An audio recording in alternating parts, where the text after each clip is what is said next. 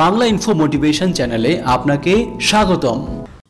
জীবন চলার পথে আমরা কখনো কখনো হতাশায় ভুগি, কখনো কাজের চাপে, কখনো ভালো চাকরি না পাওয়ার কারণে, কখনো বৈবাহিক জীবনে অশান্তির কারণে, আবার কখনো জীবনে উপযুক্ত সঙ্গী না পাওয়ার কারণে। আর হতাশায় ভুগলে আনন্দময় কাজও মাটি হয়ে যায়। কিন্তু হতাশা নিয়ে বসে থাকলে তো আর চলবে না। দরকার হতাশা থেকে দূরে থাকা এবং জীবনকে সুখী এবং স্বাচ্ছন্দ্যময় করে তোলা।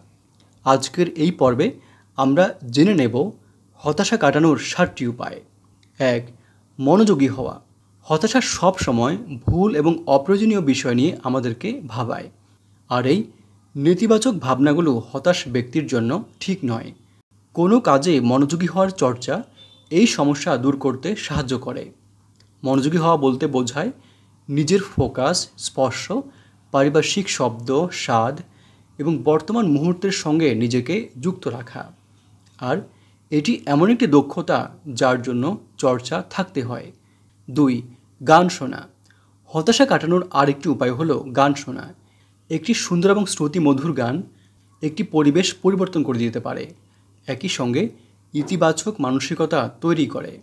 সংগীত দ্রুতই আপনার মুড পরিবর্তন করে আপনাকে হতাশা থেকে মুক্তি দিতে পারে। তিন, নেতিবাচক আলোচনা বাদ দেয়া। হতাশ ব্যক্তি প্রায় সব কিছুকেই নেতিবাচকভাবে দেখার চেষ্টা করেন। যদি কোনো কিছু ভুল হয়, তার জন্য তারা নিজেদেরকে দোষী মনে করে আর নিজের ভাগ্যকে দোষারোপ করতে থাকে। তাই হতাশা কাটানোর জন্য নেতিবাচক আলোচনা বাদ দিতে হবে। চার, বিভ্রান্তি দূর করা। প্রত্যেক ব্যক্তিরই বিভ্রান্তি দূর করতে হবে, কারণ এই বিভ্রান্তি থেকেই অনেক সময় হতাশার সৃষ্টি হয়। আর এটা সৃষ্টি হয় অনর্থক বিষয়ে ভাবনার কারণে।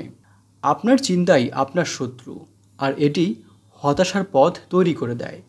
তাই অহেতুক চিন্তা না করে কোনো কাজে ব্যস্ত হয়ে পড়ুন কিংবা বই পড়ুন, কারণ আপনি যদি বই বা কোনো সিনেমাতে ডুবে যান, তাহলে হয়তো হতাশা থেকে আপনি মুক্তি পাবেন।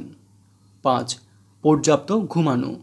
পর্যাপ্ত ঘুম হতাশা দূর করতে অনেকাংশেই সাহায্য করে এবং এর অভাবে মনের মধ্যে বিরক্তি এবং চাপ সৃষ্টি হতে পারে। তাই আপনি যদি ভালোভাবে ঘুমিয়ে নেন, তাহলে আপনার মন এবং মেজাজ দুটোই ভালো থাকবে। চিকিৎসকদের মতে, মানসিক চাপ এবং মেজাজ খিটখিটে ভাব দূর করার জন্য পর্যাপ্ত ঘুমের প্রয়োজন। ছয়, নিয়মিত ব্যায়াম করা। নিয়মিত ব্যায়াম করা হতাশা দূর করতে সাহায্য করে। পাশাপাশি এটা স্বাস্থ্যের জন্য বেশ উপকারী। তাই নিয়মিত ব্যায়াম করুন এবং দেহ ও মনের শক্তি বাড়ানোর চেষ্টা করুন।